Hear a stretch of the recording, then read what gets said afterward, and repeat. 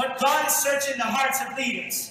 But God, Mungu anaambia wa- wa- wafanyikazi wa kanisa, A foolish leader eh, mfanyikazi wa kanisa mjinga will overlook a prophet ataangalia mfanyikazi mfanyikazi wa Mungu or a vibaya, ama mama wa, kanisa or an apostle ama mtu wa mchungaji and only see financial help, anaangalia tu mambo ya pesa, but not ask for spiritual help. hata takatifu. The youth are not worried about paint. Watoto wadogo hawaangalii mambo ya rangi kwa kanisa, They're not worried about electricity. hawaangalii mambo ya, ya moto ya, nyumba. The youth are not stupid. Watu, vijana wadogo si wajinga, They need passion. wanataka ile kitu ya, ndani, wanataka Preachers. Wanataka mtu mwenye anaongea mambo ya Mungu, wenye wanajua mambo ya Mungu, that are not corrupt, wenye wajui mambo ya pesa, that don't expect to be lifted up, wenye wataki kujibeba juu, but they humble themselves. wenye wako chini, The, the Kadogos, wale wadogo. They see men of God. Wanaona watu wa Mungu washing the feet wanaosha miguu of widows ya wenye wamama wenye and elder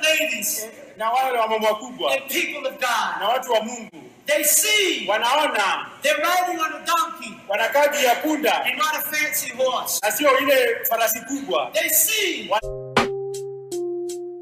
They see Wanaona they're riding on a donkey wanakaa juu ya punda, and not a fancy horse. They see wanaona they're riding